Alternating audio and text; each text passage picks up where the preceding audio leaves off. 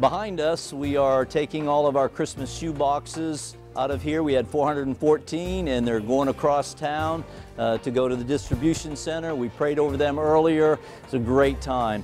Uh, today we talked about Thanksgiving, Psalm 100, that we enter his gate. So I believe that Thanksgiving is a key that sends us through his gates into his courts. I don't know about you, but I want to be through the gate, into the courts, into the house of the Lord. If you read Psalm 84 about how lovely is his dwelling places, and one day in your courts is better than a thousand elsewhere. So we have this here beside us just to illustrate that Thanksgiving takes us, it's the key that takes us through the gate into the courts of the Lord, to the house of the Lord, but we don't stop there because when we're there in that place, He's going to send us to the mountains of culture.